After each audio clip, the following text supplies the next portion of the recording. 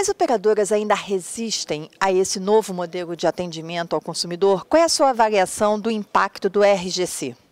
Primeiro, o modelo de atendimento tem um desafio tremendo que é de um atendimento massivo, são milhões de consumidores e as operadoras adaptarem essa, esse atendimento massivo às novas ferramentas é mesmo um desafio. O RGC, na verdade, trouxe o mínimo do, do atendimento que a gente entende do consumidor 2.0, desse consumidor do futuro, agora há muito além daquilo a ser feito pelas empresas. As empresas ainda devem muito em atendimento eletrônico, em autoatendimento e é isso que a gente entende que o consumidor espera delas. Você colocou que falta inovação. Você até colocou muito claramente que o setor de telecomunicações não podem agir como os taxistas tradicionais estão agindo com relação ao Uber. O que, você quis dizer? Quer dizer, o que você está defendendo quando você fez essa colocação? As, as, empresas de telecomunicações, por óbvio, não podem brigar com a tecnologia. Então, a inovação é parte do nosso setor de telecomunicações e a inovação precisa ser incorporada no atendimento ao consumidor também. Incrivelmente, até hoje, por exemplo, ainda há serviços que só se resolvem numa loja de atendimento. Empresas que são do ramo de tecnologia, é inadmissível que a gente brigue com a tecnologia ao invés de tornar cada vez mais inovadora a nossa forma de atuar.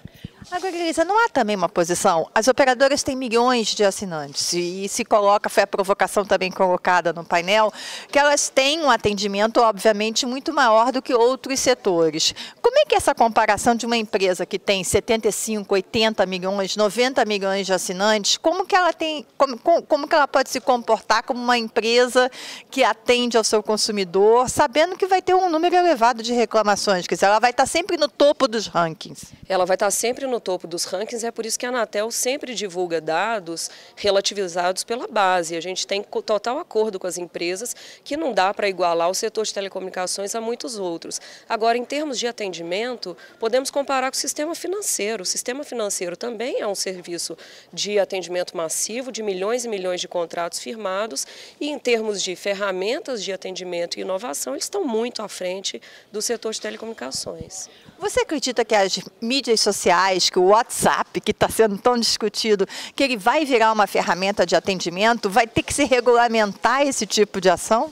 É o que a, as pesquisas indicam. Pesquisas de profissionais da área de marketing indicam que o WhatsApp ou ferramentas de mensagem instantânea são a próxima, a próxima barreira, ou a próxima fronteira do canal de atendimento. Agora, não está no escopo da Anatel regulamentar. O que a gente sempre é, deixa claro com, com as empresas é a regulamentação é o mínimo necessário. Então, o RGC, hora nenhuma, ele foi mais pesado do que devia, considerando o mínimo necessário de prestação de de serviço de atendimento pelas empresas. E por que, que você disse que as operadoras no Brasil usam tão pouco Big Data? As operadoras no Brasil eh, alegam muito que os sistemas legados impedem o uso das modernas ferramentas de análise de Big Data e o que é, é uma, uma eterna é, disputa, uma eterna discussão nossa com elas é de que horas o sistema legado vai deixar de ser o problema e a gente vai poder usar toda essa tecnologia disponível para atender melhor o consumidor. A Anatel acredita que o consumidor está melhor atendido depois do RGC? Nós temos dados e pesquisas mostrando que o consumidor tem ficado mais satisfeito.